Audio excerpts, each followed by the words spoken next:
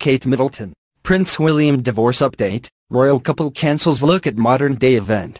Are they hiding dual being pregnant? Kate Middleton and Prince William's divorce continues to swirl and with the latest rumor, it is already underway. The divorce rumors involving the Duke and Duchess of Cambridge just won't stop and it intensifies with the latest news that Kate cancelled her event appearance. People speculate if this has something to do with the marriage trouble that she is experiencing with William or because of her rumored pregnancy.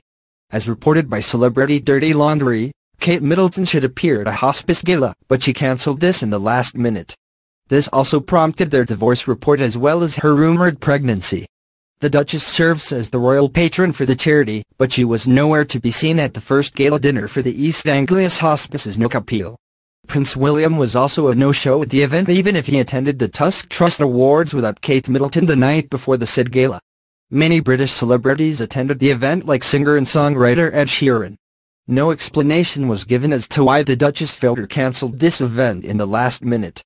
Rumors are pointing at Kate's twin pregnancy, while others say that this has something to do with the royal couple's impending divorce. However, Kate sent a personal message to everyone in thanking them for supporting the charity. What might Queen Elizabeth feel about this?